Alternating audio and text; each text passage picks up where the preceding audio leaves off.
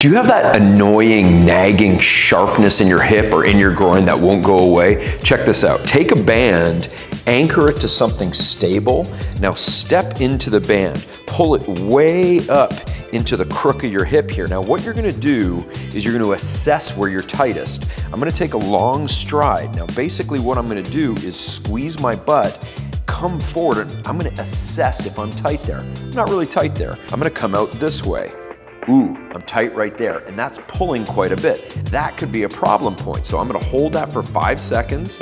I'm gonna back it off. I'm gonna do 10 reps. Once I get that cleared, I'm gonna go wider and try it this way. Pretty tight there too. I'm gonna do the same thing. I'm gonna go 10 reps of five seconds. I'm gonna repeat that before activity. It's gonna help with that nagging hip pain and get you better, not older.